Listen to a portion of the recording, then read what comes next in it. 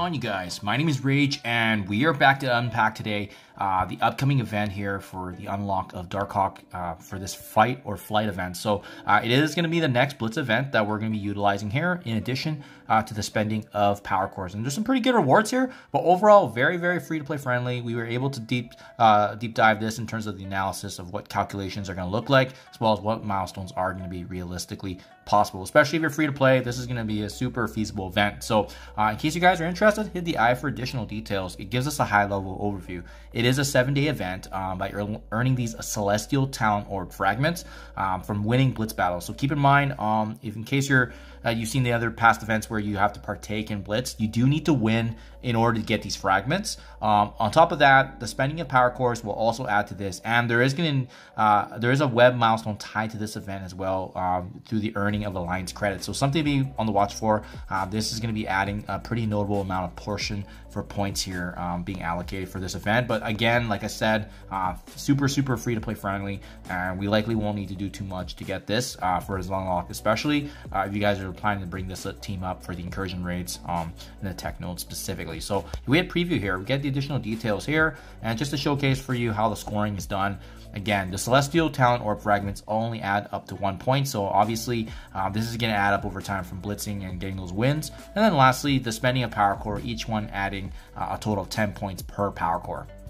So uh, before I, I, I, show you guys the math and calculations, let me just showcase for you some of the milestones that you want to be gunning for, right? Um, you know, a big one is definitely milestone 10 and 11 just because 10 has the final um, Darkhawk shards here unless you're planning to push higher. There's five shards there and there's five shards here, right? And him being a 100 shard unlock, we're going to be needing every shard we can get. But milestone 11 is also very notable because we have this fanged anklet. And keep in mind, this is the fanged anklet that gets added into the monthly events, uh, worth a very, very significant amount of points. Uh, so obviously you want this to be adding to the month-long uh, the festivities. Uh, beyond that, though, there are a couple targets too. Uh, we got the seven red Kestrel here. Uh, even for myself, I haven't got that unlocked yet, so this is going to be a huge addition, especially uh, if you you know Kestrel's really um, you know the bread and butter of the Pegasus team uh, with Iron Man Infinity War, but as well being able to be a viable character for Dark Dimension Six. This is a huge value add.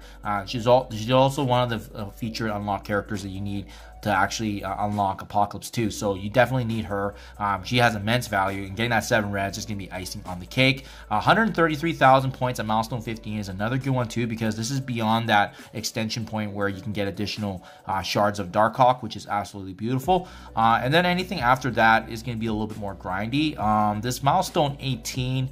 Uh, with the 20 shards of Darkhawk, it's definitely possible, but I think you do need to core more on top of that, uh, also being able to blitz um, the eight rotation. So those are kind of the uh, the highlights here of the milestones that we should be gunning for. Now, what's feasible and what it should be the target that we're aiming for? Let's take a look at this. So I've kind of broken this out into a couple of scenarios here for the different blitz rotations that you see in columns here, but as well showcasing again um, the points that you're going to be getting. So you can see here, um, assuming that you're going to be doing about 50 wins per rotation.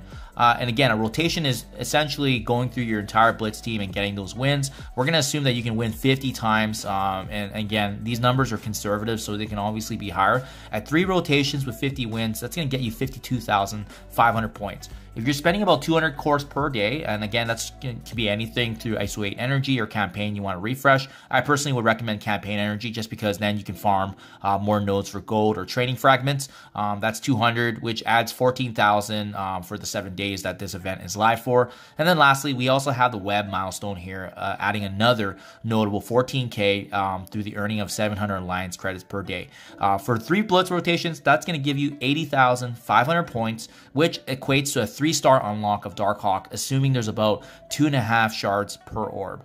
Uh, for six rotations, that's going to get you close to a four star at 133,000 points. And then lastly, if you're doing the full eight on rotations, which is the max number of rotations you can do through the Blitz event, um, you're going to get close to 170,000. And again, these numbers are conservative, they can be higher. It doesn't factor in the free claim um, that likely will be adding uh, some slight number upticks here. And again, if you're spending more power cores than the 200 per day, uh, for sure your numbers will be higher. So uh, in doing so, there's a couple targets that now we can um, fully aim for, right? At the milestone 11 mark, again, 76,000 points for the Fanged Anklet. You're going to easily hit this even doing three rotations if you just want to have a chill event. So honestly, um, it's a great way to sit back. But as well, let's not forget that there's some additional fragments of Darkhawk not too far away. Personally, I think a really good one to aim for is milestone 14, as I touched on earlier, because um, having that seven red Kestrel is like really, really good value. And again, you're not going to be needing to do too much. 114,000 uh, points would be between,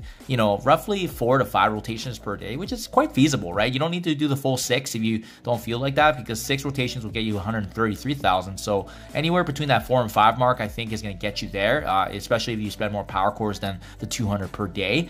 Um, if you're hoping to do uh, the 133,000 points, that is going to get you that 10 extra Darkhawk shards as well at milestone 15. So another good target if you just want to add that extra um, juice to the shards for Dark Being that meta tech rate team, um, but it's going to probably get you close to that four star unlock here um, just to be safe at that six rotation mark. If you just do decide to go beyond that and you want to maximize the eight rotations, it's going to get you very close to four and a half star. Uh, honestly, with some RNG, maybe even a five star, right? But I'm going to be conservative here for my analysis. But yeah, that's uh, that's the overview right there, guys. Um, milestone 14, 15, and 17 are all realistic. Uh, I'm probably going to see if I can go for the 10 extra Darkhawk shards at milestone 15, just because I do like those extra shards. But again, uh, if I don't get it, it's not the end of the world. I'll see if I need to spend a few more power cores if need be, just because I've saved up a little bit. Um, but if we're close to that four star, that'd be really, really nice to get, obviously. And if I already hit that four star with the RNG of orbs, then I might just pause there, to be honest. So uh, there you guys have it. Hope this helps you guys navigate in terms of how many rotations you'll be doing. But it's pretty simple and clean event